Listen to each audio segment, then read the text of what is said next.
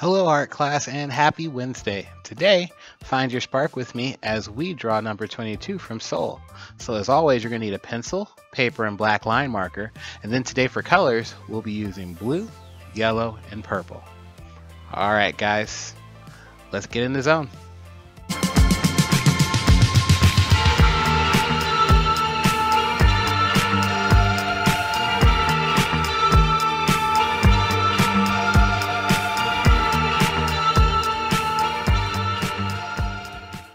Hello and happy Wednesday. Today we're going to be drawing number 22 from the movie Soul. 22 is going to be in the middle of our paper and we're going to start at the top, working our way down, creating her whole body, or as much of a body as she has. First we're going to start at the head.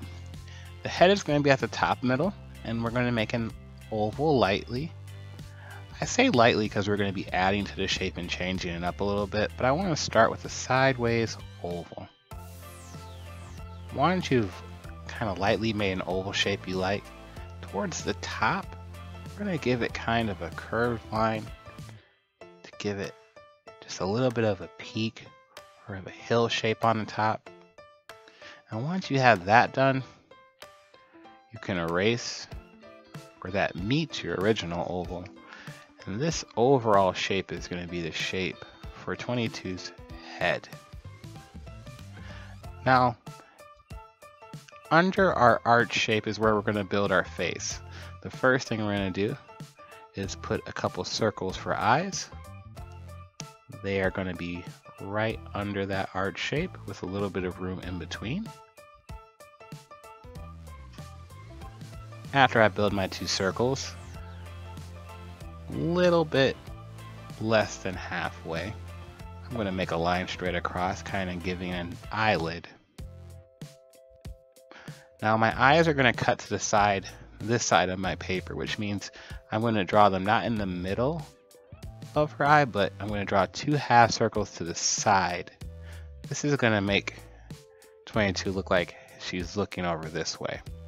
And because of how we're going to do her eyebrows and her mouth, it's going to give her kind of a, a smirk or a, cer a certain facial expression.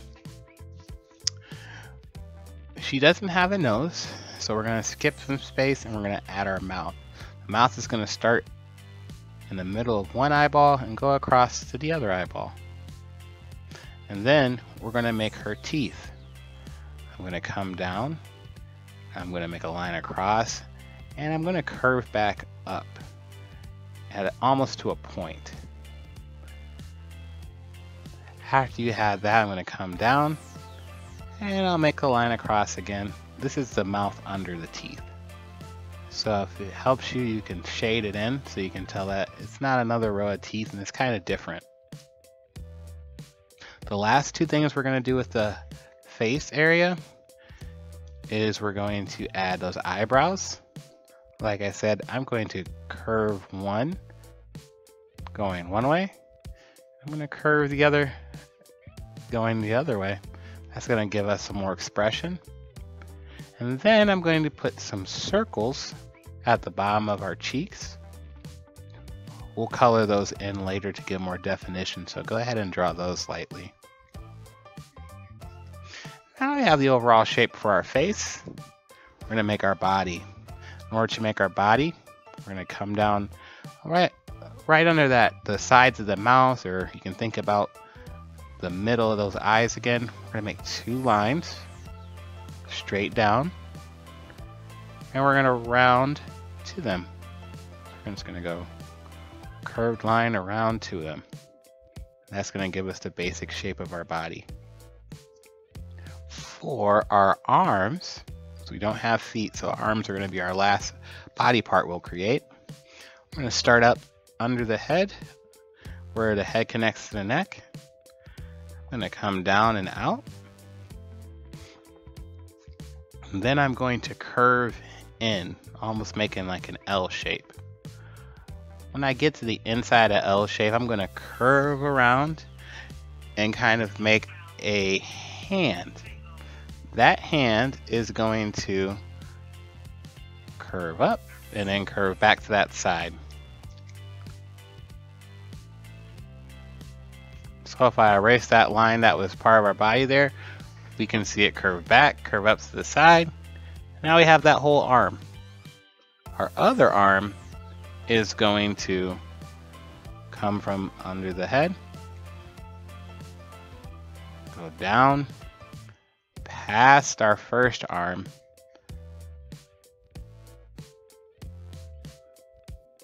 and the hands are going to kind of cross.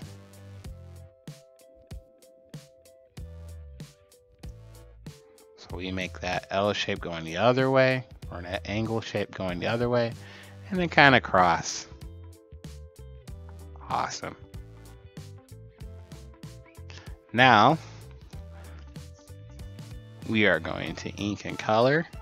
And today for coloring, after I ink, I'm going to start with a light blue, and then I'm going to put a little bit of yellow over it, and then I'll add a little bit of blue afterwards, and that's going to give us an iridescent kind of look give our character that look from the movie. Here we go.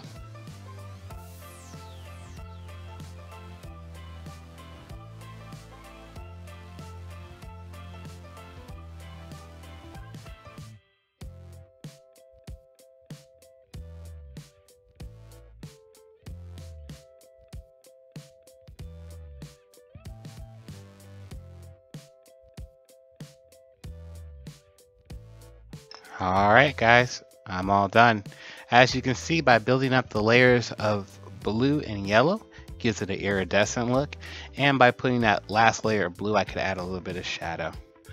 Now I know you guys are going to make an awesome background, but for me I'm going to sign it because I am done. Always sign your work because you should be really proud of all the amazing stuff that you guys do. All right, class, we're all done. I had a great time drawing number 22 with you, and I can't wait to see you next time for more art class. Until then, be kind and creative, and have a great day.